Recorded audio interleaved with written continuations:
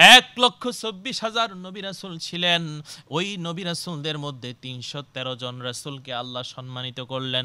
তিনশো তেরো জন রসুলের মধ্যে সব থেকে বড় সম্মানিত রসুল আপনার আমার নবী মোহাম্মদুর রসুল্লাহ সাল্লাহ জোরে বলুন সুবাহান آواز دی بولون اللہ اکبر۔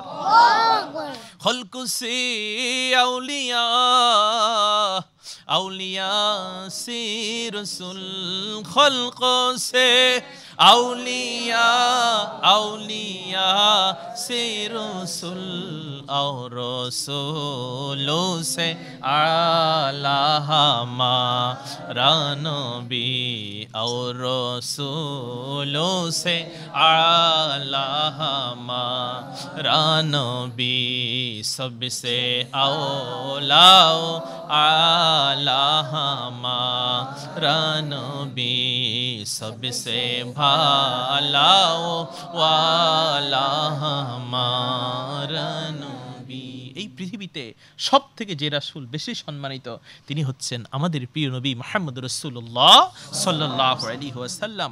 আল্লাহর নবী বলেন হ্যাঁ আল্লাহ সৃষ্টি করলেন বনি আদম। বনি আদমের মধ্যে এমন কিছু মানুষ আছে যারা ডান হাতে দান করে বাম হাত জানে না। সুবাহান আল্লাহ রসুল সাল্লাহ আলী সাল্লাম বলেন নাম ইবনে আদম। হ্যাঁ সম্মানিত হলো বনিয়া আদম। তা সদ্দাকা সদকাতান বিয়ামিনি ইয়ফি হামিন শিমালিহি। ডান হাতে সদকা করে, বাম হাত জানে না। এমন মানুষ যারা আল্লাহকে ভয় করে, দান করে, সদকা করে।